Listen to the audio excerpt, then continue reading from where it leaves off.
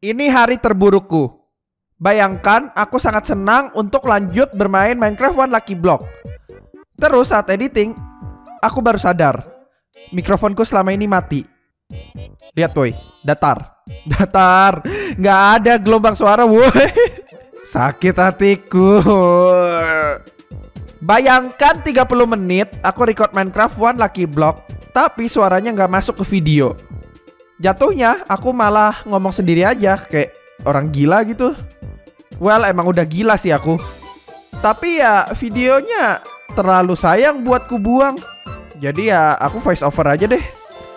Berasa jadi kayak youtuber Minecraft 100 hari aku ini. Di episode terakhir, kita kan kebingungan untuk tamatin One Lucky Block ini.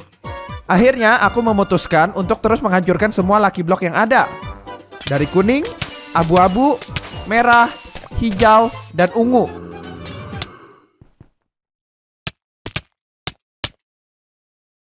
Oke, kita nggak bicarain soal yang ungu ya.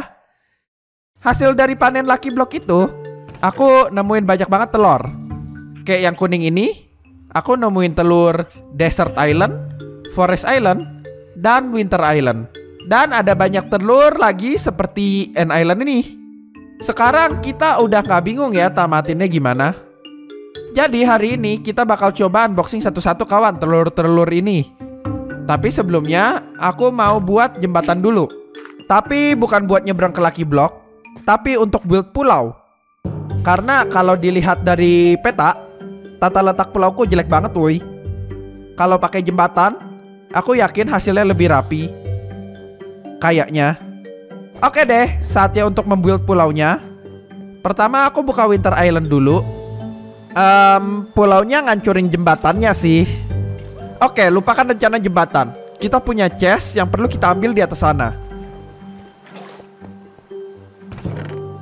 Isinya banyak harta karun. banyak petasan maksudku. Oke. Mengecewakan sih.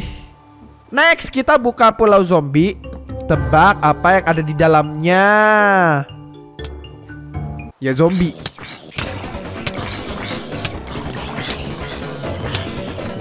Oke, ada skeleton sih. Salah pergaulan di sini. Terlepas dari itu semua, aku harus grebek sarang nongkrongnya mereka untuk dapetin chestnya yang disembunyiin.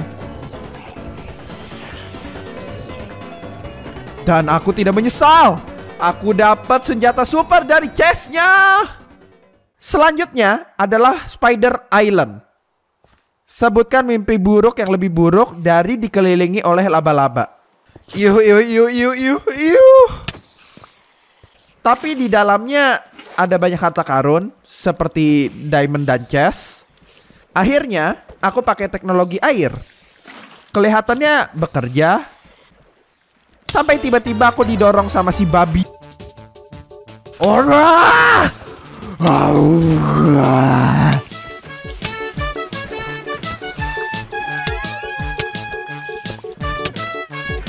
Oke, dapat deh harta karunnya. Ngomong-ngomong ada chest tapi kosong. Sumpah sampah banget chestnya. Buat apa? Lalu aku bangun jembatan lagi pakai netherrack yang kupunya untuk buka pulau selanjutnya. Karena pulau selanjutnya adalah Nature Island. Dan setelah aku perhatiin, kayaknya udah pernah buka deh yang kayak gini. Aku agak bingung perbedaan yang Forest Island sama Nature Island soalnya mirip-mirip. Tapi ya udahlah ya. Di sini banyak banget hewan peliharaan. Lebih tepatnya stok makanan sih. Uh, jadi menurutku ini hal yang bagus soalnya kita bisa ngisi stok makanan kita dan kita nggak bakal kelaparan lagi. Selanjutnya Nether Island dan sesuai namanya isinya The Nether. Ada banyak banget manusia babi yang mirip teman-temanku. Baiknya di sini ada Nether Ward, jadi kita bisa bikin kayak potion-potion gitu. Uh, dan buruknya di sini nggak ada chest. Soalnya aku udah coba gali sana sini, sana sini. Bukannya harta karun, rasanya malah kayak gali kubur sendiri. Banyak banget lavanya.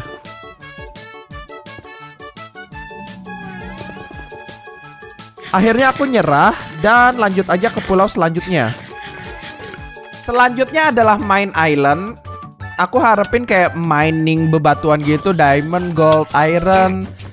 Tapi aku malah disambut sama hal yang tidak berbau itu sama sekali. Ini ini pada ngapain di sini, woi? Aku di sini tuh pengen dapetin kekayaan, bukan nambah masalah hidup. Please. Jadi ya aku coba aja keliling sambil membantai mereka semua, membersihkan area ini. Dan aku perhatiin batu-batu di sini itu nggak terlalu bagus juga. Oke sih ada kayak iron, coal, lapis. Cuman udah gitu aja. Aku mengharapkan lebih dari mining island ini sebenarnya. Ya di sini ada banyak batu sih.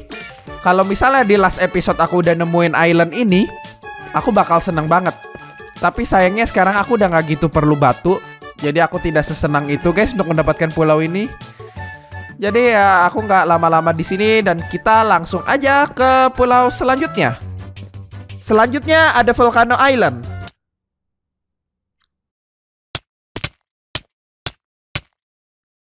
Eh, ya di dalam gunung berapi ini ada Nether Portal. Tapi sayangnya aku udah punya Nether Portalku sendiri, jadi ini agak gak berguna. Oke maaf. Portalnya nggak hubungin ke Nether yang sama juga.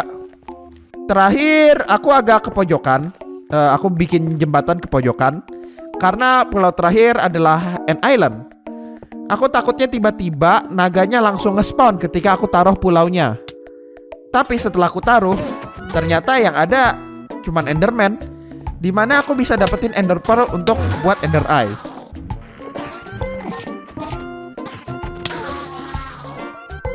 Terus di situ juga ada portal di end ya.